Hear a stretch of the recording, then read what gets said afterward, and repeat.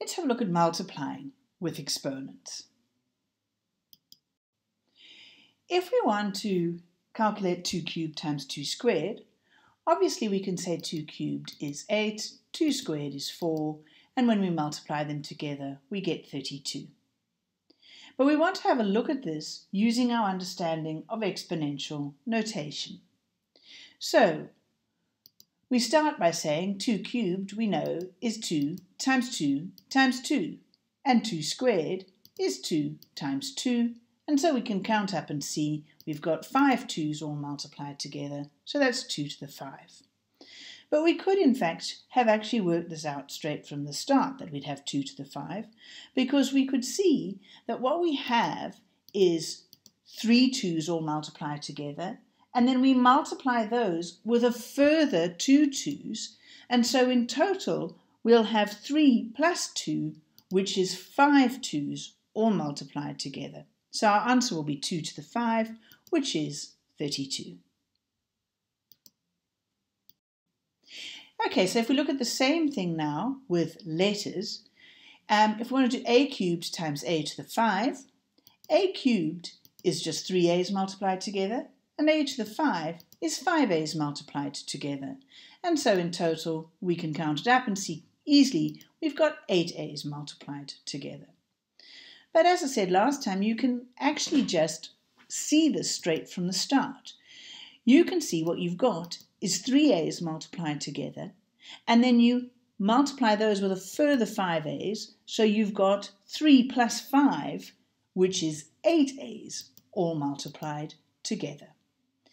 And as we work further with this, we're actually not going to need to do that step at all. We're going to be able to sort of think it through immediately in our head and just say a cubed times a to the 5 is 3a's multiplied together and then a further 5a's multiplied with them. So what I'm going to have is 3 plus 5a's all multiplied together, and that's a to the 8.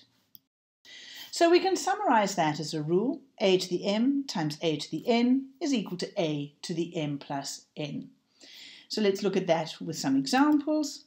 For example, a to the 4 times a to the 6 is just equal to a to the 4 plus 6, which is a to the 10. Why is that? Well, a to the 4, 4a's multiplied together. a to the 6, 6a's multiplied together. And so when you multiply all those together, you're going to end up with 4a's and another 6a's, which is 10a's all multiplied together.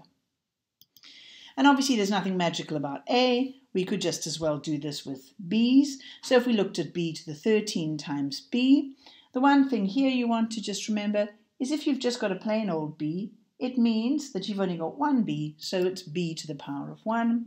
And so we get b to the 13 times b to the 1. Well, you've got 13 b's and one further b multiplied together. So you've got in total 13 plus 1 b's multiplied together. In other words, b to the power of 14. Just a quick note of caution. If you've got different bases, so you've got a to the 3 and b to the 5, you know, can you do something and say 3 plus 5 is 8 and, and something with that? Well, if you just write it out, you'll see no, you can't.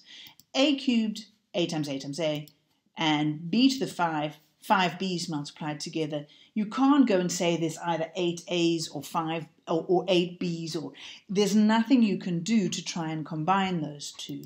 So you can't do anything. It's A cubed times B to the power of five. No simplification possible.